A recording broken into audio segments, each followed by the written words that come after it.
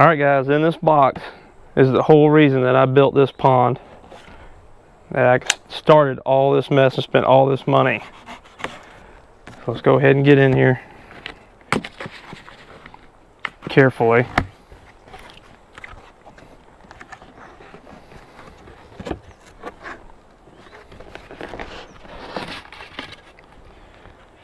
There they are. 80 largemouth bass fingerlings. And, looks, and they're very frisky. So hurry up and get these guys in the water. Start getting them adjusted.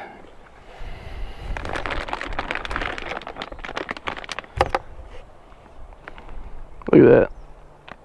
They're all about two inches, two and a half inches. Suttle's Fish Farm does a real good job. And these little guys are pellet trained.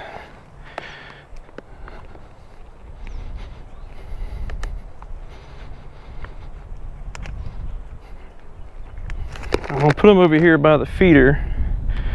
That way they got places to hide in this grass. Also when it goes off, since they're pellet trained, they'll have easy access to food for the ones that want to hang around anyway. So we'll just let them sit here in the water for about 20 minutes.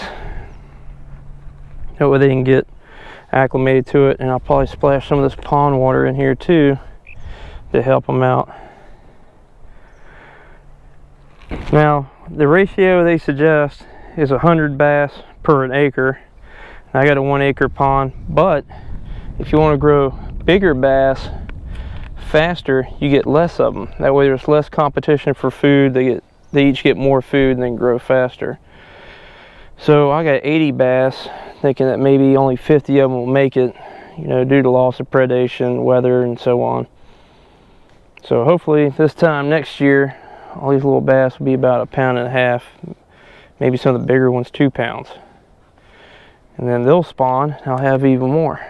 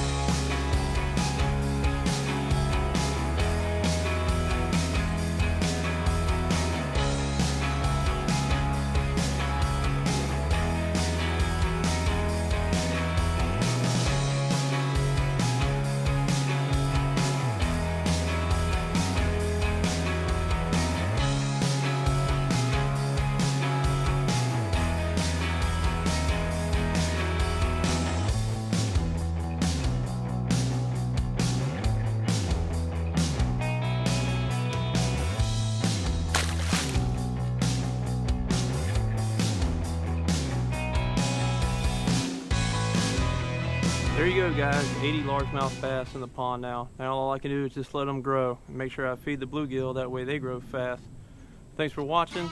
If you want any information on where I got my bass from, I got it from Suttle's Fish Farm. I'm going to leave a link down in the description below to their Facebook and their webpage. Be sure to check them out if you're looking to stock your pond. They have awesome customer service. Thanks again Suttle's Fish Farm, I appreciate it. And we'll see you next time. Take care. Remember, we do more and do more.